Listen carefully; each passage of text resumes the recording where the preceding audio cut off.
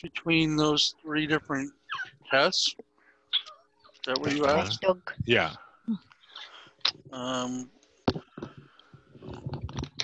well, essentially, it comes down to, uh, especially in the behavioral and financial control, um, whether or not the worker has autonomy to decide how to do the job, what tools to use, brings his own stuff, or it's provided or directed specifically by the employer or his staff of some sort.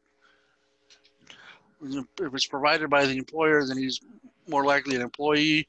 If it's brings his own stuff, like a plumber or an electrician to do work in your home, says I'm going to come fix it, but you don't tell him what to do because he knows what he's doing, then he's like an independent contractor.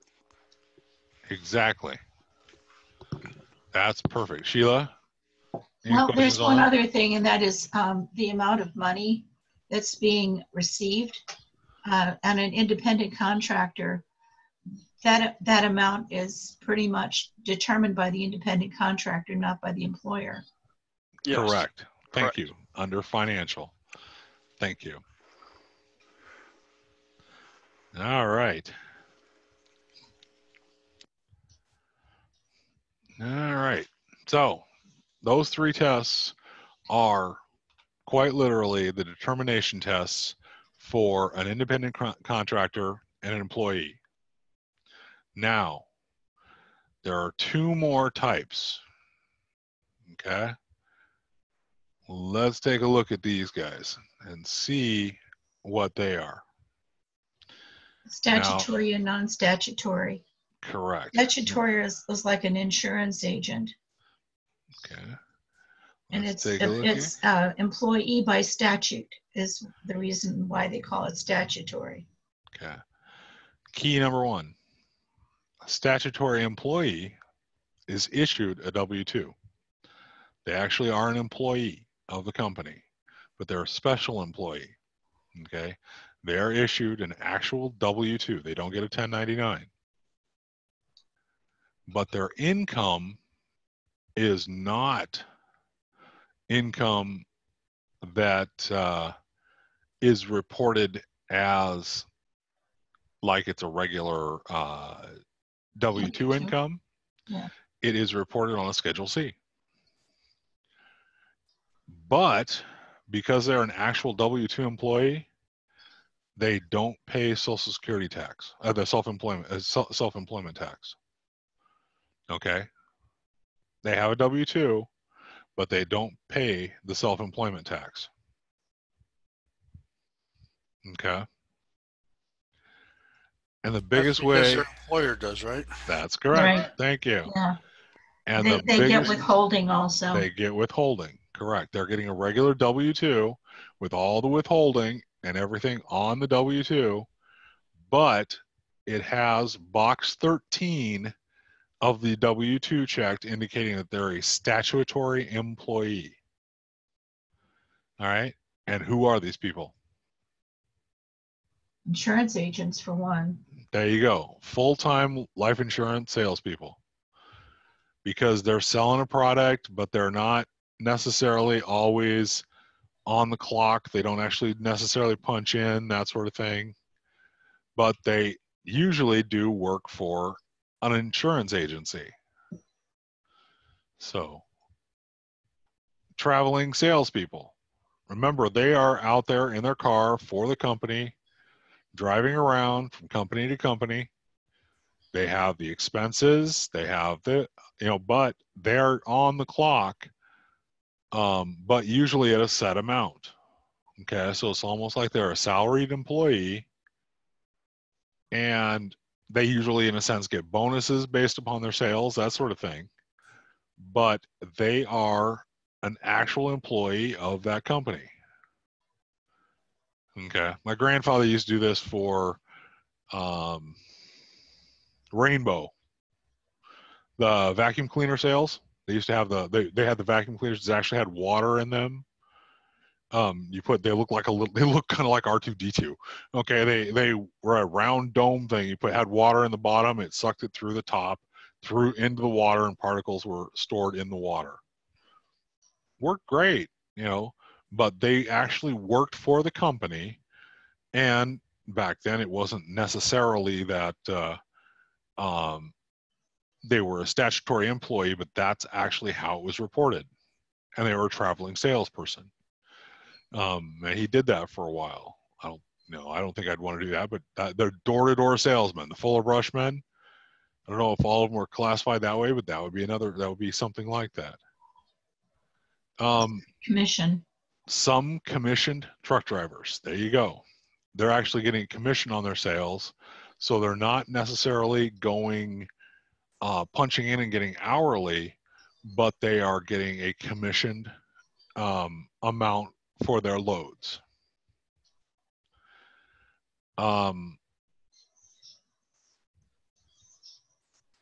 they're the only ones who really, the biggest determination is when you are doing it, they're getting a W 2 and it has box 13 checked.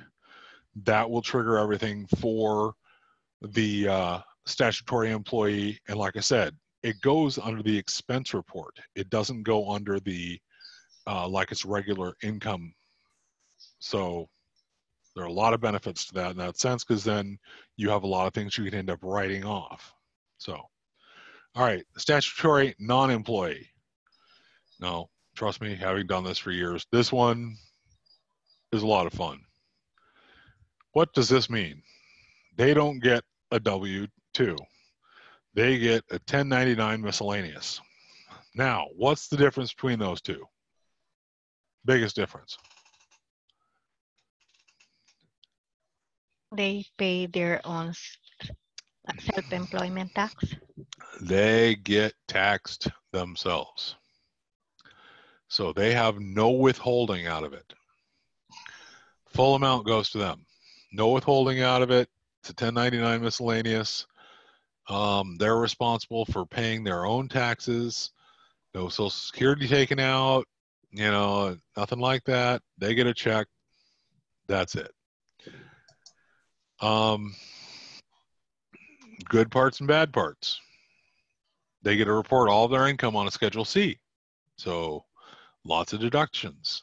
Okay, they got to take a lot against that money for all of their expenses.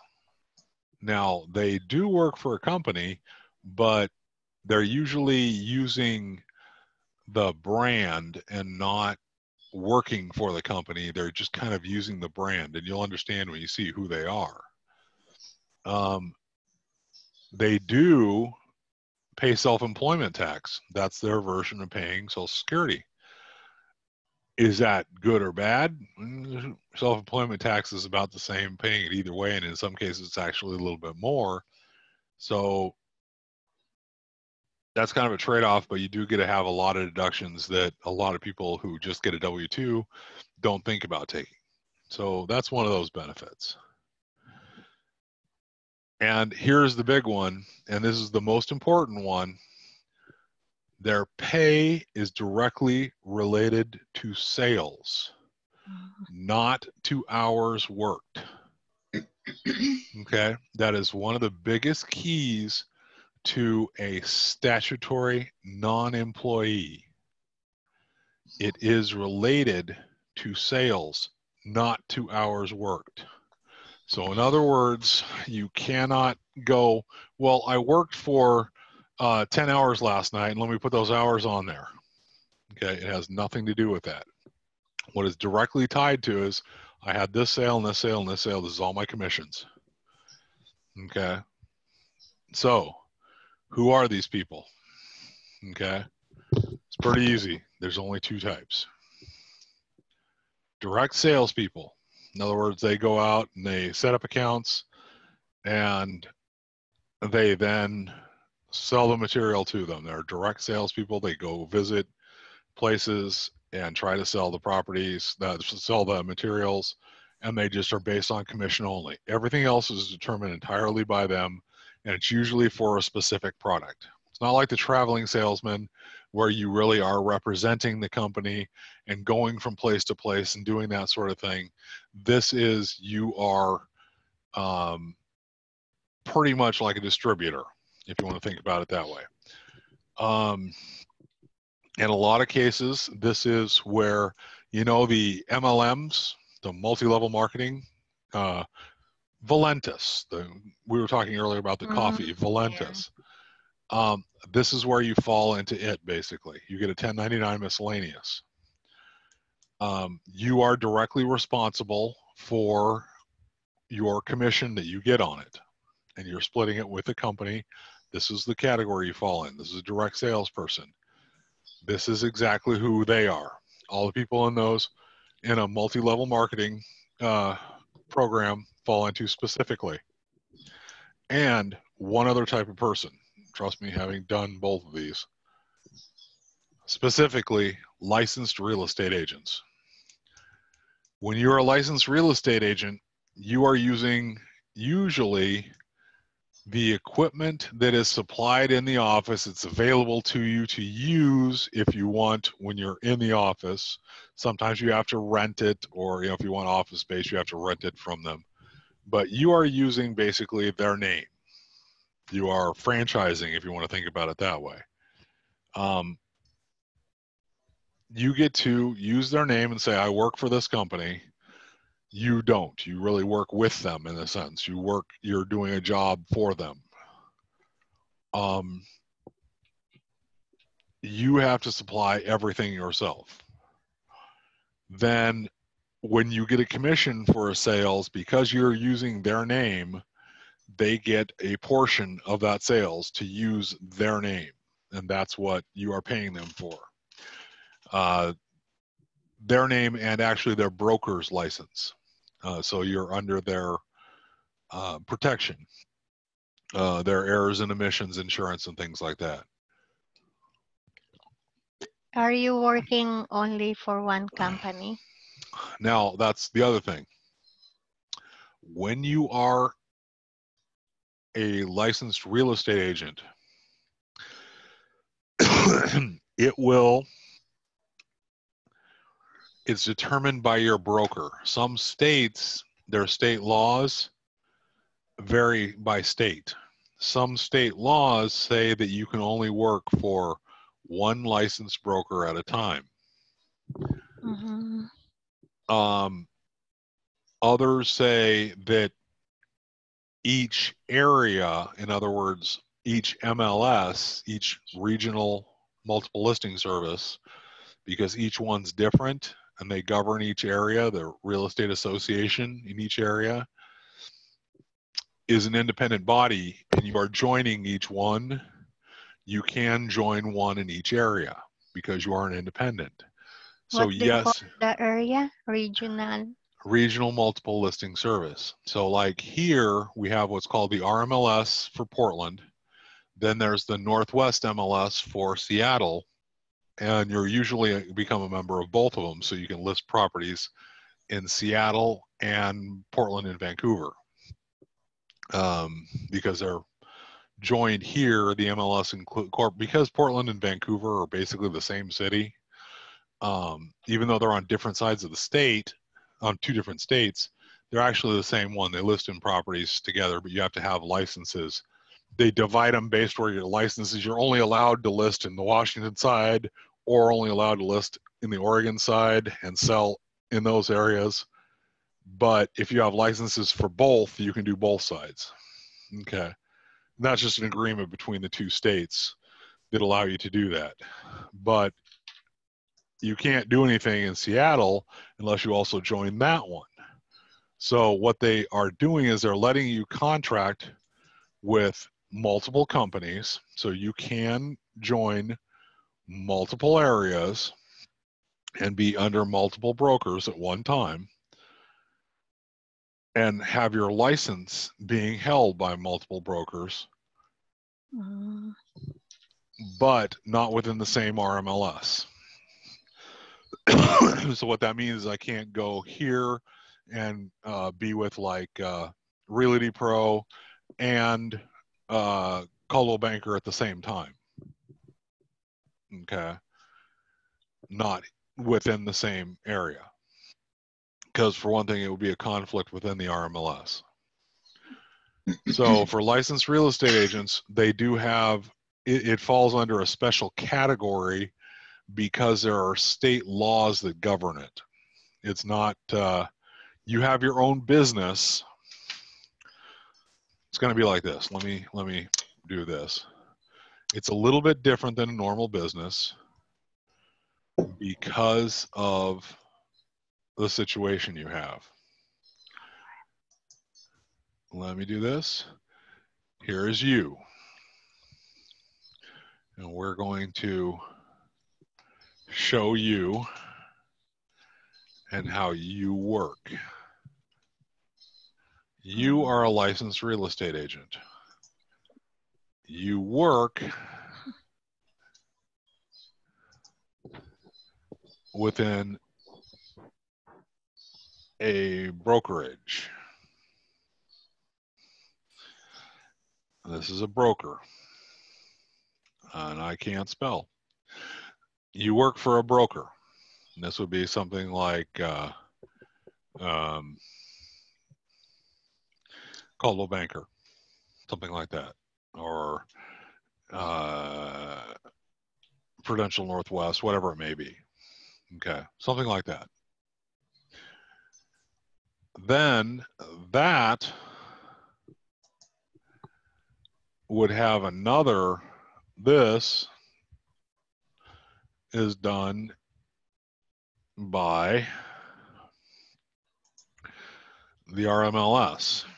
That's the Regional Multiple Listing Service. Okay. That is the area. Okay. There are multiple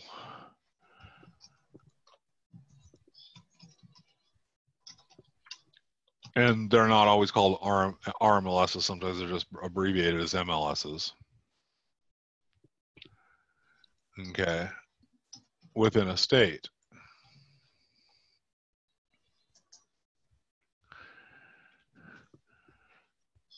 And these are all controlled. So I can do this. So if you want to know how complicated this one gets, Oh, actually, I have forgotten one circle. Let me do this. Hang on a second. I've forgotten a circle. Um, oh, actually, no, not necessarily. I, I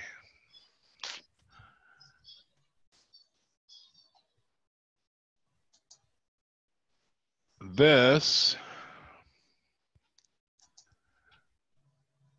then has uh, let me do it this way because it doesn't include all of them.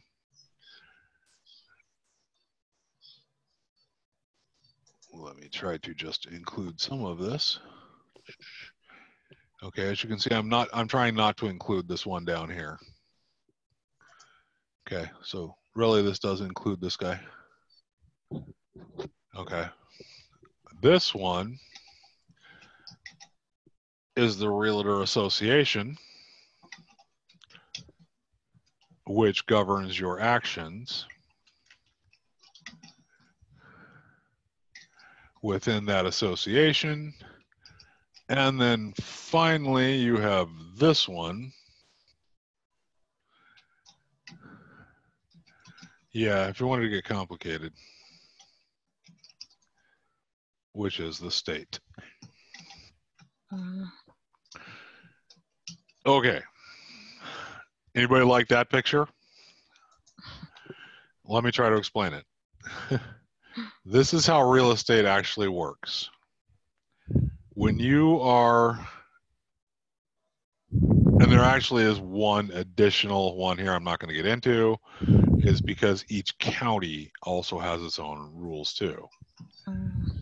So here's you. You work for a broker. All right. That broker is where you get your name you're using, and this is the person who's going to give you the 1099 miscellaneous. To get that 10 mis- 1099 miscellaneous, you go to the state and get your license. You then have to join the RMLS. Okay. In our case, and I'm going to pull this guy over here if I can get him. Look at that. I was able to. Ours here includes Oregon and Washington. Okay. In our RMLS. Okay. Actually, this shouldn't be this one. I guess this should be this one. Includes Oregon and Washington across two states. But this would be Seattle, and it has its own. To govern over these two, they have an association to make sure that they comply because lots of people lots of people join both of them. They have an association between the two with a set of rules to govern these two. And you have to join and agree to their rules for both of them. In addition, then, there's the state oversees and the state real estate board oversees, just like our tax board oversees them. And by the way, our tax board, if you don't know, does work a lot like this.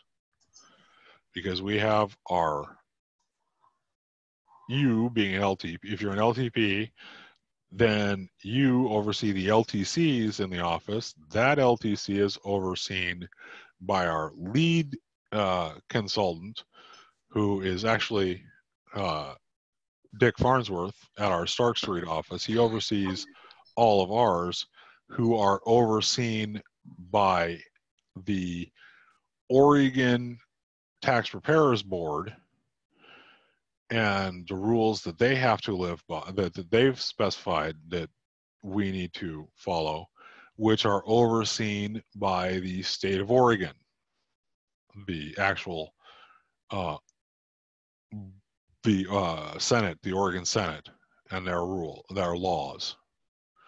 So that's actually even how the tax board works. Those are statutory employees. The reason this is that I'm saying this is because as you can tell, they don't we don't technically work in a sense as a regular employee. Okay. Now, because we are supplying you with all the stuff, that's the one exception. For us, you're not doing sales. Okay, we do have you on hourly, but the governing, actually, that's how you make the determination what you are. Yours is not related to sales, so you do not fall into the category of a statutory non-employees, but real estate agents do. Same structure, same rules you have to follow in that sense, but not. Uh, Aren't we selling our services? in a sense, but it's not. Here, here's the main. Here's honest to God, the only reason that we are similar to the real estate agents is we are the only state in the country that does this. Oh, There is no other state that does this. Um, which is why we're having this class and everything else because there are, are no other states that actually do this. Washington, you don't even need a license. Um, if you pass the basic class, which we just have a, a, a the class, the basic exam given by us, you are now qualified to do taxes in the state. Um, you just apply for your PTIN and you can, by Washington law, can do taxes within the state of Washington. Uh, California has a licensing requirement, but it is a, only a tier one licensing requirement. In other words, everyone getting a license as soon as you've passed the first test are now able to open a real estate uh, open a, uh, a tax firm and can prepare and have taxes done there for anyone pretty scary.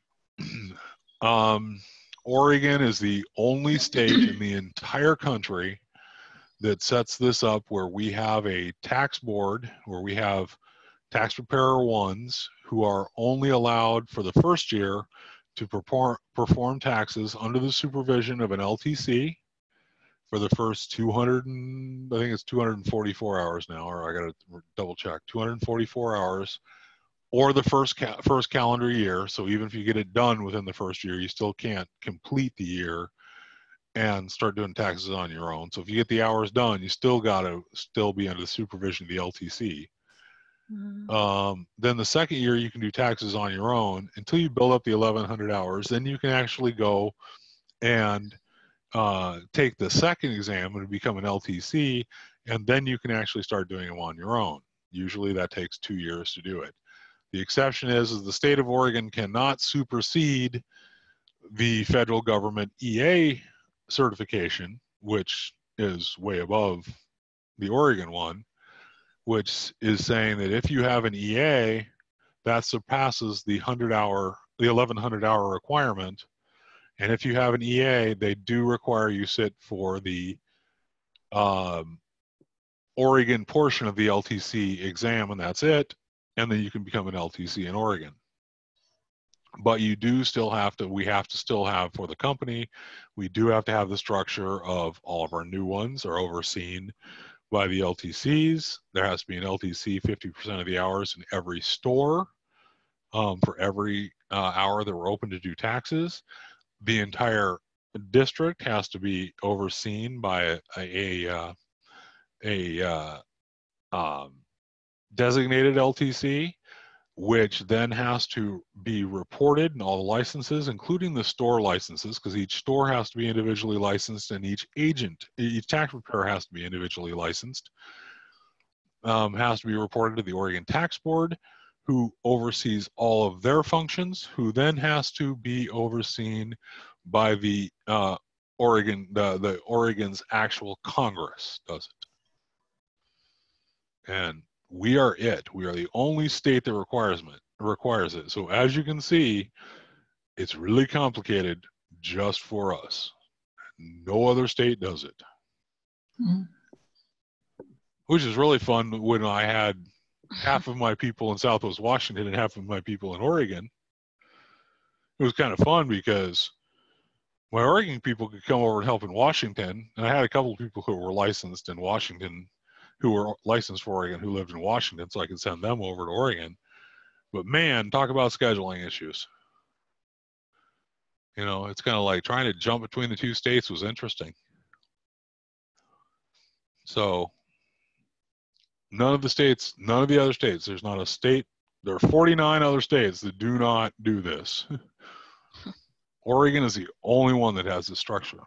And the thing is, they took their, they also, by the way, just in case you were wondering, this is also one of the toughest structures that they have for their realtors.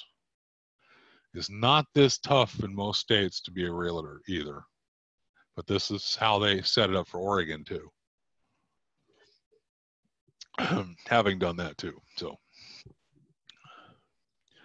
But it's really, this is the only occupation licensed real estate agents because you are governed by outside bodies that have nothing to do with your employer. You know, if you go to McDonald's, who do you answer to? If I work at McDonald's, who do I who, who do I answer to for my job? McDonald's. McDonald's, thank you. Okay, that's who I answer to is McDonald's. Um, but what is the most important thing, especially about realtors? and this is the important thing is what do realtors sell that's important to the state? They sell the dirt. Uh-huh. They're selling pieces of the state. They're selling that property tax they buy and sell that property tax, so the state wants to regulate it. Mm. So, because they are doing something that affects what they control, they want to make sure they have their say over it. And if you want to think about it that way, so realtors and direct salespeople, that's it. If you have those two things on the test, if it asks you, um, direct salespeople or licensed real estate agents are what type of employee? Statutory non-employee. And that's the only ones. Those are the, and as a matter of fact, direct salespeople, really, it's the realtors. That's the biggest one. And let's go back about one thing. How do they get paid? Commission. 1099 they are a business themselves. This is the strangest way to be employed but you are really your own business. You're using somebody's name. Some realtor is the broker's name but outside of that name pretty much you're on your own they may help you occasionally with a few things, but overall, you're you're using that name, but nothing else.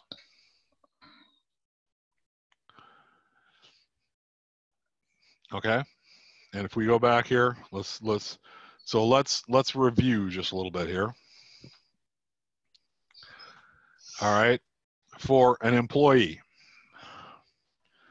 employees, what are you? W-2. W 2. You work for the employer, you have a regular uh, paycheck. He sets your hours. Now, what are the three tests? Behavioral control, financial control, type of relationship. Three for three. You go, Naomi. That was awesome. Three for three. What do they mean exactly? Behavior control? They determine your hours. How I'm going to do your job, how I'm going to work, when I'm going to work. I tell you how you're going to do it. Financial control. They tell you how much you're going to make. They buy your, their stuff for you. You don't buy your tools. You don't buy anything. They you walk in. They pay for everything and hand it to you. Okay. You don't have to buy anything. You're not coming with anything. They are basically giving it all to you to start. Okay. Financially, you can walk in with just the clothes on your back, and they will give you the rest. Okay. You're providing labor and intellectual labor, physical labor, whatever it may be. type of relationship. For employee, you have benefits. There you go. If you're expecting benefits, vacation pay uh, for an independent contractor,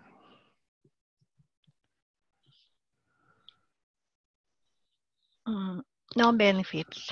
no benefits, and normally it's a written contract for a specific amount of time. Oh, there goes the nose. Excuse me. Okay. And what is the difference on how does an, uh, an independent con- contractor get paid? 1099 miscellaneous. You got it. And finally, the statutory n- employee. Okay. How does he get paid? Because he's a special one. W-2. Yes, thank you. He actually works for the company. All right. So, how do you know he's a statutory employee on that W Box two? 13 is checked. Box 13 check. Way to go, Sheila. That was awesome. And Naomi, that was perfect. Um, so what don't they pay? Self-employment tax. Yes, exactly. And but what do they get to do? Schedule Report income on schedule. C. Both of you nailed that, man. You guys are just kicking it. All right. So they get to do a Schedule C. And you guys got all of the determinations. All right. Now, what is the major difference between an income statement and a balance sheet? Mhm. Income statement uh, for a specific period. Balance sheet for a specific date ongoing. There you go. And what about the final result? If I look at them, if I wanted to, if I didn't, if I if I didn't know what each report was, what could I look at and determine is that an income statement or is, is that a balance sheet? Oh, balance sheet is assets and liabilities, and the result equals zero. Thank you. That's what I was looking for. And the income statement? Is is income and expenses. and the result hopefully would not be zero. it would not be zero or, or negative. it would show hopefully positive.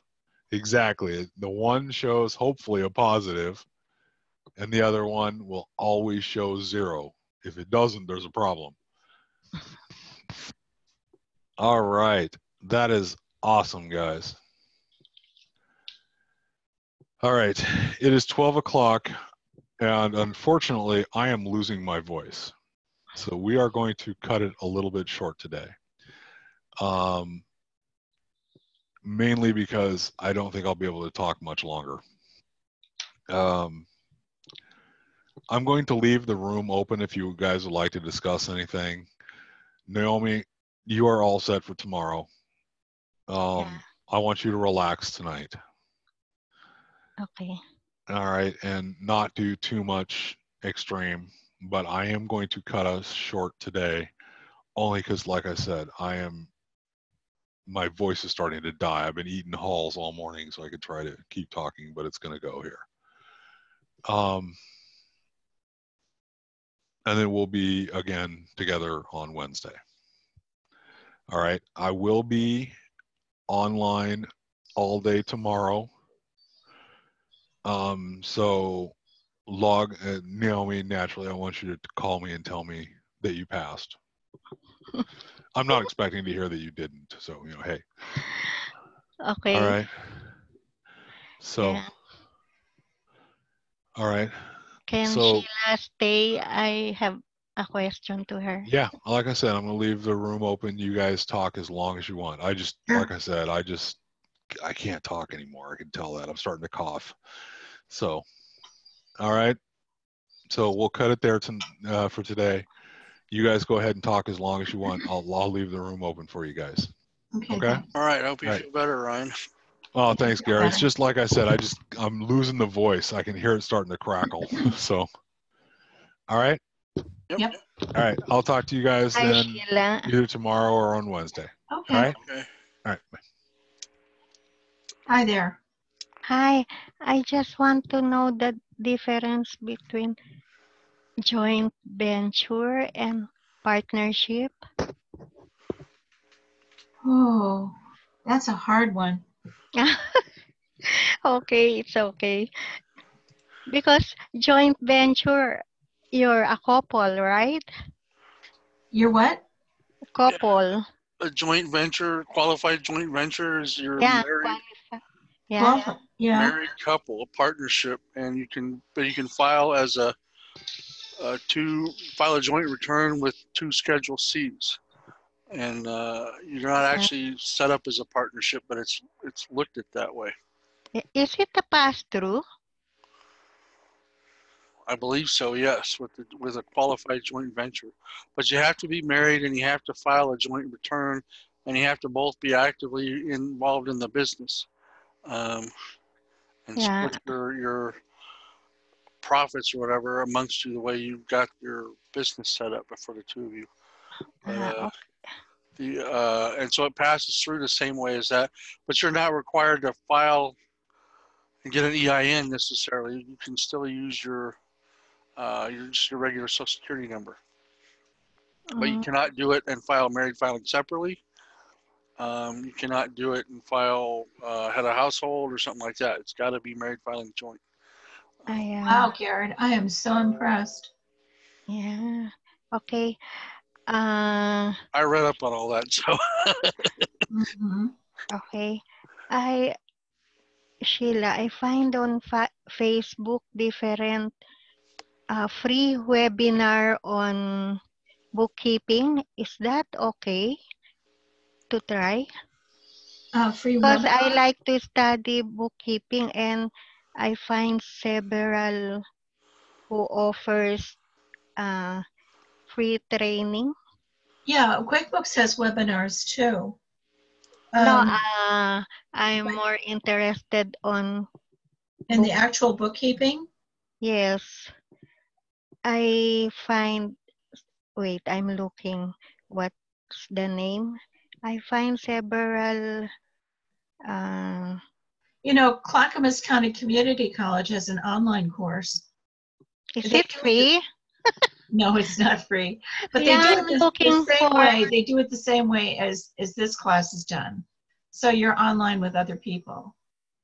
Ah, yeah, this one I I find it bookkeeping live free webinar. Discover the secret formula to getting bookkeeping clients. Oh, getting bookkeeping clients. That's a di- whole different ball game right there. I thought you were talking Ah, uh, yeah. classes. yeah, uh, wait, I find another one. hmm Well, I talked to a marketing person, and this is what she told me. She Yeah. said the best way to, to market bookkeeping is to um, have, um, number one, you have to have a, uh, um, a web page, and then you can do a Facebook ad that links to the web page. And she said that's really the most effective way to do it.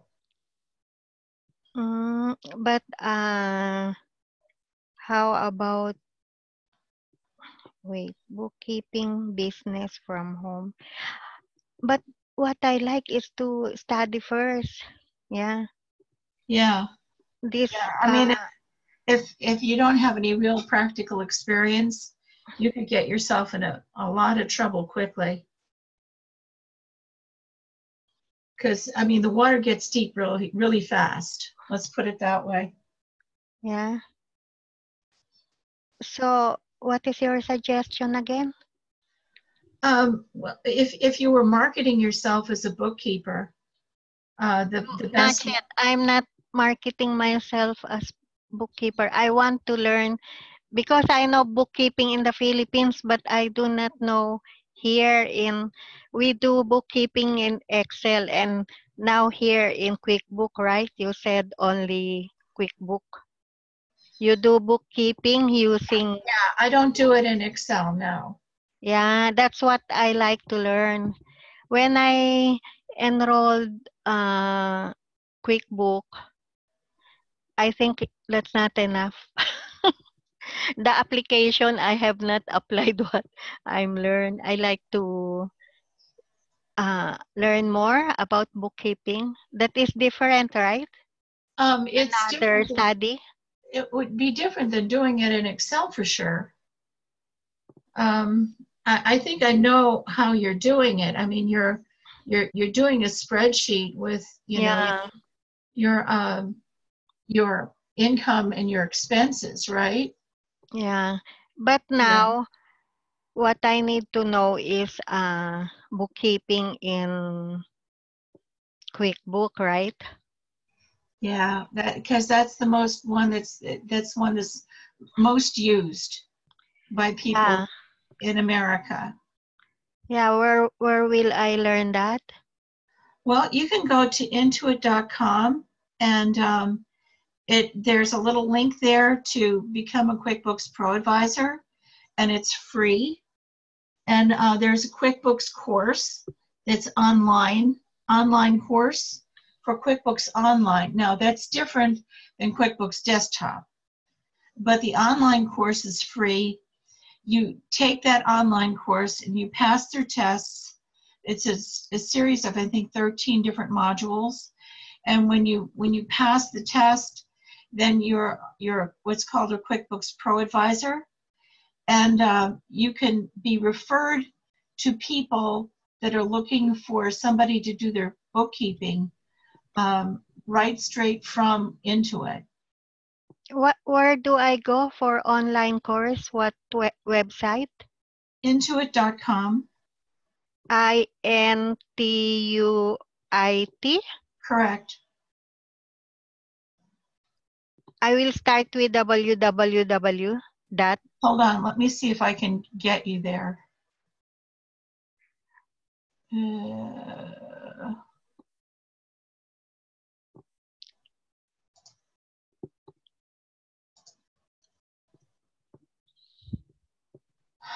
no, I don't have that link up anymore. Ah, Um, okay. I will yeah, try. www.intuit.com, Yeah. and um, you'll you'll see. Um, let me go there for, for you. Just one second. Yeah, because I do not want to pay anymore. I don't have means now. I'm only part-time. I'm only working part-time. Yeah, I hear you.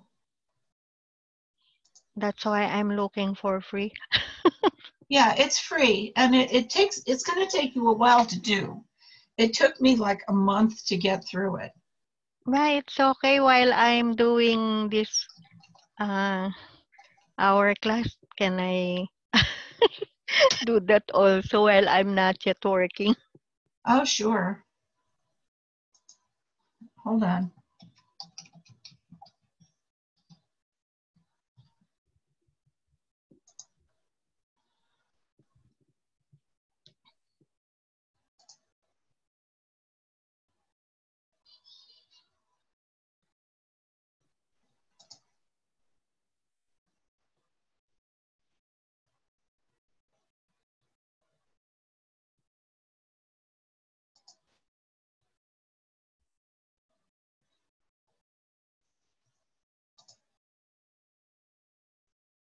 Okay.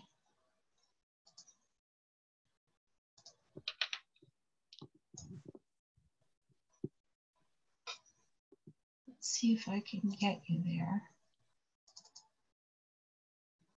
So it's, um, here's the address up here. And then it'll take you to, um, take your pro, pro advisor membership to new levels, blah, blah, blah. And like I said, it's free and it's going to take you a while to do, but um, it's it's worth it. Wait, I will uh, save it. Okay.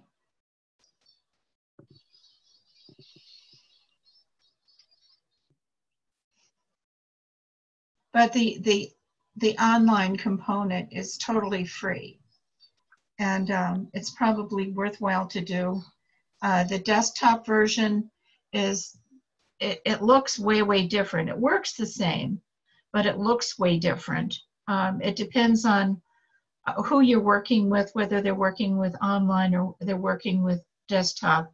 You'll find that most uh, CPAs want to work with desktop, but Intuit is really, really pushing online. So you'll find that that you're going to be referred to people with online. And a lot of times you don't even need to go anywhere. You can just do their, their books online. Yeah, I don't have car and I don't drive. well, then that's good for you then. They can, you can do it from your house. Yeah. You know, uh, oh, this and one. The other I... nice thing, in, Noemi, is that if you have any problems or questions, I'll, uh, I'll, up to five people can be logged in at the same time. Ah, okay. You can log, I can log in too, and I can help you out. Ah, okay, thank you.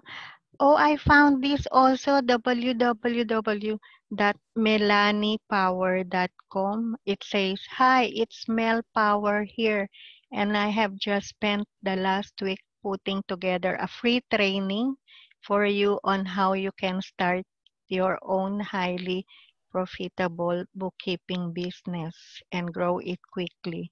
But my daughter told me, oh, do not go. yeah, uh, a lot of those things will ask you for money. Ah, okay. Yeah, I, that's not that's not the best thing for you right now. Okay, um, the one. Okay, I will try the one you gave. yeah. Yeah. Oh, thank you very much, Sheila. You're very welcome. Okay, I don't want to take more of your time. Just rest. Thank you. Have a great day. Yeah, you too. And if you have any problems or questions, just give me a call. Do you have my oh. number? Yeah, I got it. Okay, I terrific. it already. Thank you. You're very welcome. Bye. Bye-bye.